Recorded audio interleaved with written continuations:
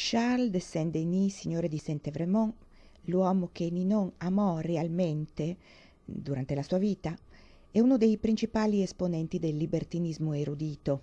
Nato nel 1616, conduceva un'attiva vita mondana e letteraria frequentando il salotto di Ninon. La fedeltà al re durante la fronda gli valse il grado di maresciallo di campo e una pensione di mille scudi, ma l'arguzia e la libertà con cui si esprimeva gli valsero tre mesi alla Bastiglia. Nel 1659, accompagnando Mazzarino alla frontiera spagnola per concludere la pace dei Pirenei, scrisse al marchese de Crequy una lettera in cui accusava il cardinale di aver sacrificato gli interessi della Francia al proprio profitto la lettera, ritrovata durante una perquisizione da Colbert e da Letellier, rovinò la vita di Saint-Evremont.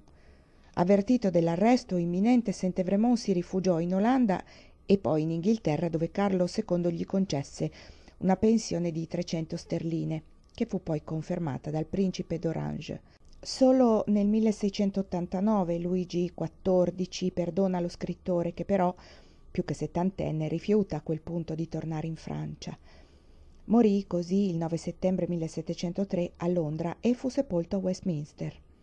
Rimase fino all'ultimo fedele al libero pensiero.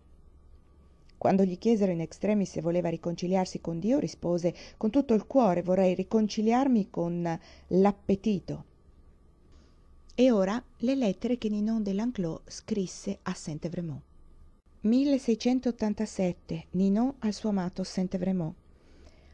Sfido Dulcinea a ricordare con più gioia il suo cavaliere. La vostra lettera è stata accolta come merita e la triste figura non ha affatto diminuito la qualità delle opinioni. Sono toccata dalla loro forza e dalla loro perseveranza. Conservatele a onta di coloro che si permettono di giudicarle. Credo, come voi, che le rughe siano i segni della saggezza.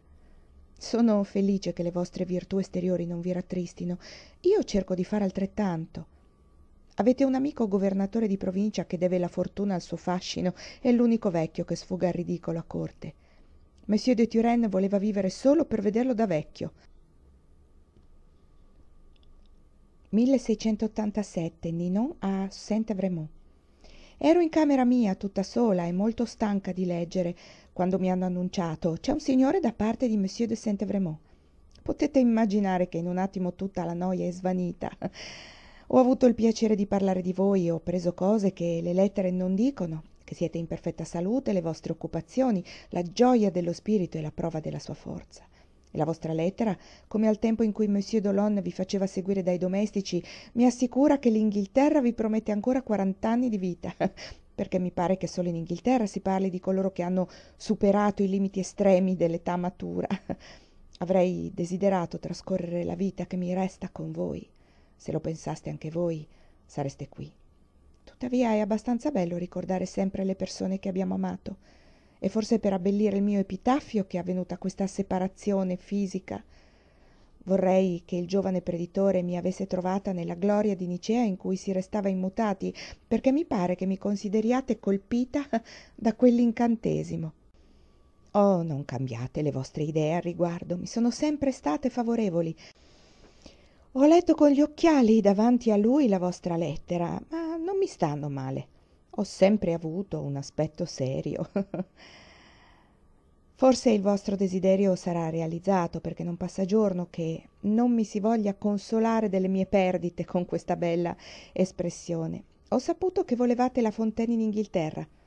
A Parigi non si gode molto della sua presenza, è diventato parecchio svanito. è il destino dei poeti. Dubito che vi sia un filtro d'amore per la Fontaine. Non ha amato molte donne in grado di acquistarlo. 1697. Ninon al suo amato Saint-Evremont.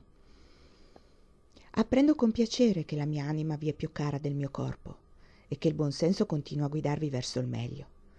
Il corpo, per la verità, non è più degno di attenzione, mentre l'anima ha ancora qualche barlume che la sostiene e la rende sensibile al ricordo di un amico la cui assenza non ha cancellato i tratti. Racconto sempre vecchie storie in cui Monsieur d'Alben, Monsieur de Charleval e il Cavaliere de Rivière prendono in giro i moderni. Voi entrate in scena nei momenti forti. ma poiché anche voi siete per i moderni, sto bene attenta a non lodarvi davanti agli accademici che si sono dichiarati a favore degli antichi.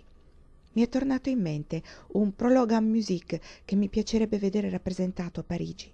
La bellezza su cui è imperniato farebbe invidia a quelle che lo ascoltassero. Non tutte le nostre Elene hanno diritto a un Omero e a essere sempre le dee della bellezza. Eh, eccomi posta molto in alto. Come scendere? Carissimo amico, non bisognava mettere il cuore in quello che scrivete. Vi assicuro che vi amo sempre più teneramente di quanto permetta la filosofia. La duchessa de Bouillon è come a diciotto anni. La fonte del fascino è nel sangue dei Mazzarino. Adesso che i nostri re sono amici, non dovreste venire a fare un giro da queste parti? Per me sarebbe il più bel risultato della pace. 1698. Ninon al suo amato Saint-Vremont. Come potete credere che la vista di un giovanotto sia un piacere per me? I vostri sensi vi ingannano su quelli altrui. Ho dimenticato tutto tranne gli amici. Se il titolo di dottore non mi avesse rassicurato, vi avrei risposto tramite l'abate d'Hautefeuille. E i vostri inglesi non avrebbero neppure sentito parlare di me alla porta sono stati avvertiti che non c'ero e hanno lasciato la vostra lettera e che mi ha rallegrato più di tutte quelle che ho ricevuto da voi. Che voglia di bere del buon vino e che disgrazia non potervi garantire il buon esito dell'impresa. Monsieur de l'Ermitage vi direbbe come me che Monsieur de Gourville non si muove più dalla sua stanza come indifferente ai piaceri. È sempre un buon amico, ma gli amici evitano di invitarlo per paura di creargli delle preoccupazioni. Detto questo, se con qualche accortezza che ancora non prevedo potrò ricorrere alla mia abilità per il vino, state certo che lo farò. Monsieur de Taillard è stato un tempo un amico, ma gli affari importanti distolgono gli uomini importanti dalle cose futili.